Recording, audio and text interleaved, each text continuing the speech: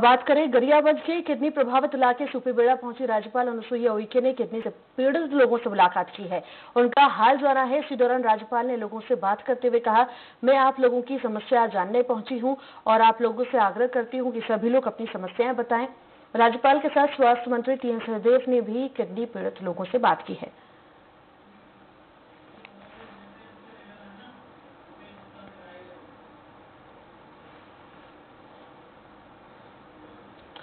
और इसी पर अधिक जानकारी लगातार हमारे साथ रुपेश हमारे साथ जुड़े हुए हैं। रुपेश, जिस तरह से देखें हम, आंकड़ा जो है, बढ़ता ही जा रहा है, लोगों की जाने जा रही है। क्या लगता है जिस तरह से राज्यपाल वहाँ पर पहुँची है, सरकार भी सक्रिय हुई है? कितना ये असरदार साबित होगा?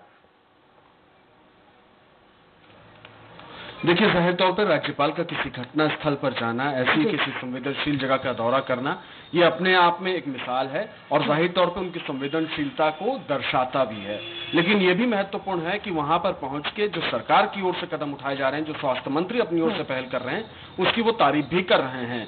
महत्वपूर्ण चीज़ ये है कि इससे पहले मीडिया के साथ जो तमाम डॉक्टर्स वहाँ पे जाते हैं उन तमाम लोगों ने एक प्रेस कॉन्फ्रेंस की और प्रेस कॉन्फ्रेंस में अपना पक्ष रखा और उससे पहले राज्यपाल के साथ मुलाकात भी राजभवन में हुई जहाँ पे ब्रीफ किया गया था तो। वस्तु स्थिति क्या है और उसके मेडिकल जो एस्पेक्ट हैं वो क्या कहते हैं उसके बारे में राज्यपाल को रूबरू करा दिया गया है राज्यपाल ने इस बात पर खुशी जताई कि जो पुल की डिमांड की जा रही थी उसको सरकार ने पूरा कर दिया है एक बात समझने वाली है हम्म। कि सूपे बेड़ा जो जगह है, वो किडनी रोड से ग्रसित है। आज उन्होंने कहा कि जो हीरे माइंस को लेकर के देवभोग में ब्लास्ट हुआ, कहीं ना कहीं ऑर्सेनिक और दूसरे जो हैवी मेटल्स हैं वो भूमिगत जल से होते हुए वहाँ पहुँच गए होंगे और कहीं ना कहीं ये एक वजह हो सकती है।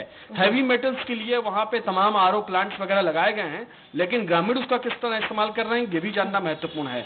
जो डॉक्टर्स ने बात बताई, वो बड़ी महत्वपूर्ण बात बताई कि किडनी जो रोग होता है, वो तीस साल तक जो आपके पास आपकी किडनी को डैमेज करते हैं, उसके बाद ये पता चलता है कि जो आप खा रहे हैं जो पी रहे हैं उसमें कंटेमिनेशन है वो उसमें दूषण है और जिसकी वजह से आपको किडनी की समस्या आ रही है। ये कोई एक या दो दिन में या साल दिन में आ, समझ में आने वाली चीज़ नहीं है। तो सरकार ने जो कदम उठाए हैं चाहे वो पिछली सरकार हो चाहे अभी की सरकार हो उसके असर देखने में वक्त लगेंगे। लेकिन ये ज़रूर है कि हालात बेहद चिंताजनक है। सरकार का यह कहना है कि हमने तमाम ऑप्शन उनके सामने रखे हैं लेकिन वो वही रहना चाहते हैं। जी। तो जमीनी हालात क्या है?